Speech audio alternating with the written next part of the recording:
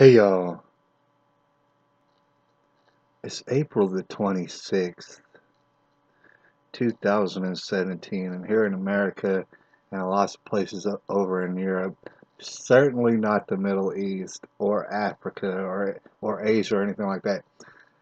Here in America and in parts of Europe, uh, people are having disputes. There's a lot of people who think a lot of different ways. There's basically two varying opinions, and there's a spectrum in between of how people feel about refugees coming in by the tens of thousands, hundreds of thousands, millions into our countries. Now, I completely acknowledge there are people out there who love refugees and want to bring them in by the hundreds of thousands to maybe millions. They do. They don't want them in their homes necessarily, but they want uh, somebody to pay enough taxes in order to feed and house these refugees forever. Now, I'm not completely against refugees. All right. It's kind of hard to be against people who are in dire straits. All right. Uh, and there's a lot of people feel a lot of different ways. Let's put that to the side for one second. I want to ask you a very simple question. It's going to be a brief video. The question is this.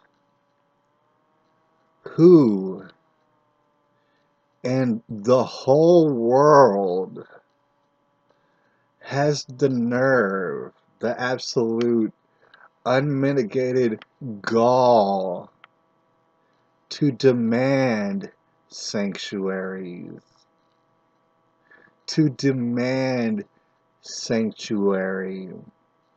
Keyword being demand it. Now, it's one thing to be in dire straits and, and you don't know what to do and you floated on a boat through the ocean to a country and you're hoping that they will accept you, all right? It's one thing to ask, please, please,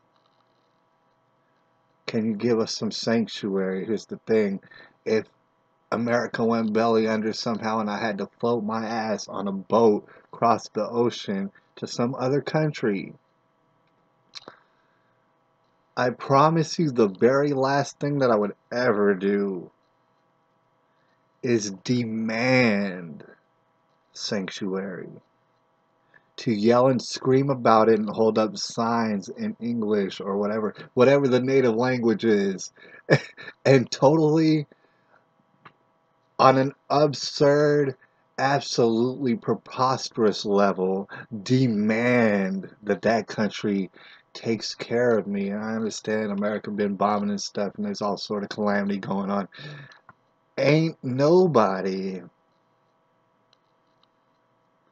have the right to go to another country and demand that they take care of you. I'm sorry for what happened in your country. I really don't know all the ins and outs that happened and, and what and I do have to understand there's Christians in a lot of these countries that are running absolutely terrified for their lives. I understand who has the nerve, the absolute uh, just totally disgusting nerve to demand sanctuary as though there's a safe place on this earth.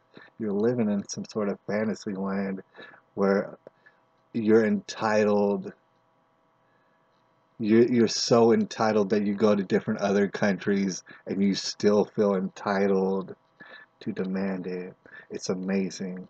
I'm amazed. I'm thoroughly amazed. I don't know about y'all out there. It's the tribulation.